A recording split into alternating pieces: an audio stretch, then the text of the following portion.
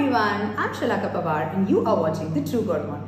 And in today's episode, I'm going to review another product or rather a ready to make cake mix. So I had reviewed Betty Crocker's cake mix or brownie mix some time back and it required eggs in the mixture. So a lot of people commented and asked if there was an eggless version to it. So I did find an eggless version and that is Pillsbury chocolate cooker cake. Uh, well, this is our very own brand it comes at 100 rupees and it says that it can make six slices of cake and the best part is you don't need an oven for this. It is a cooker cake so you just need a cooker which obviously a lot of Indian households have. Uh, it is veg, the green dot is here, you don't need egg. All you need is 120 ml of milk, 2.5 tablespoons of vegetable oil uh, and a cooker. That's it. So I'm going to try making this. I have never had this cake uh, so it's going to be fun, but let's open and see how the contents look like.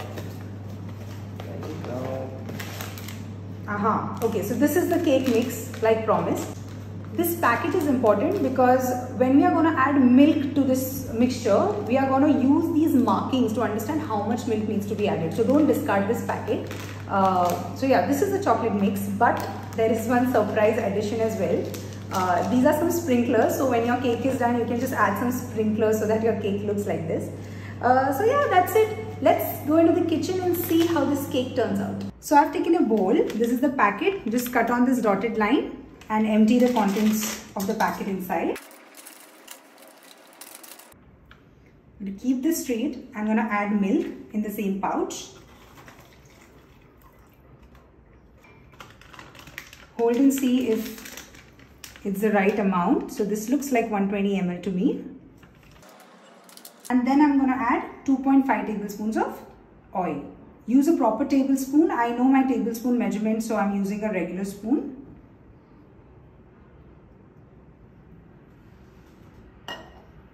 Go, mix. Now I've taken this cake tin and I've just greased it with some oil. You can also add some butter. And I'm going to pour this batter in the cake tin nicely mixed. Now I've filled my cake tin with the batter. Don't take a very small cake tin that will fill the batter completely. It should only be 3 4 filled at max. Uh, now I'm going to put this in the cooker. You need at least 3 liters of cooker for this. I'm going to open the lid. And now we're going to add some water in this cooker, at least 5 centimeters of water. And in this, I'm going to add my cake tin. Now close this cooker lid but make sure that the whistle is not on the cooker. Now we are going to steam this for 30 to 35 minutes without the whistle. 30 minutes are done so I'm going to open the lid and let's see how the cake looks like. Nice. Looks yum. I'm just going to put the knife inside and see if it's completely cooked. Came out quite clean, so looks like it's completely cooked. Carefully take this out. This is how the cake looks like. And now we're going to let this cool down for around 20 to 30 minutes and then take this cake out of the mold. Now the cake had already left sides, but I still used a knife just to make sure, uh, you know, I scrape all the sides correctly so that the cake can be unmolded correctly. Uh, now I'm going to take a plate, just place it on the container and flip it. Now I have been trying to tap this a lot because it looks like the cake is stuck and when I actually tap it and release it, yes, the cake was stuck a little bit in bottom, hence you can see a little bit of cracks. Uh, I obviously, uh, you know, exactly followed the instructions of just applying oil. So I did not add any butter paper or flour.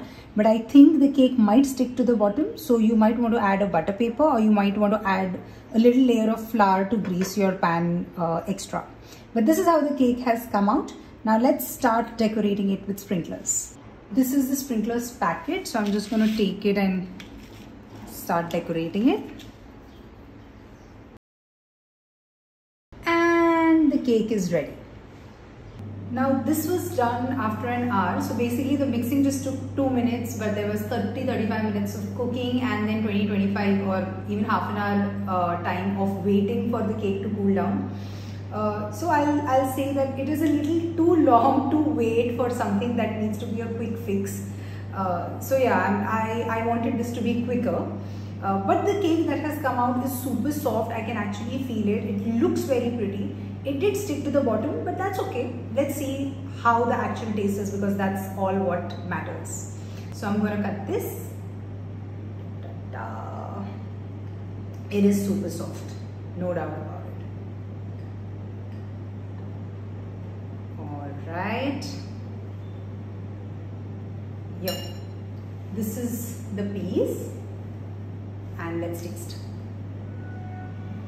Now this is cooked well. It's super moist and soft. It's nice, but I think it's a tad bit less sweet. I like more sweeter cakes. And when I tried Betty Crocker, I think that was more for my uh, sweet liking. This is also good. You, you might actually like it if you don't like overly sweetened cakes. Uh, but not a bad idea if you want to, you know, just make a quick cake and uh, uh, have some basic regular homemade chocolate cake. This can be a very good option, especially because it does not need eggs. So yes, I, I would recommend Pillsbury chocolate cooker cake. They have multiple other flavors. Maybe you want to try that as well. Enjoy with a nice cup of tea. I'll see you guys in the next episode. Till then, bye-bye.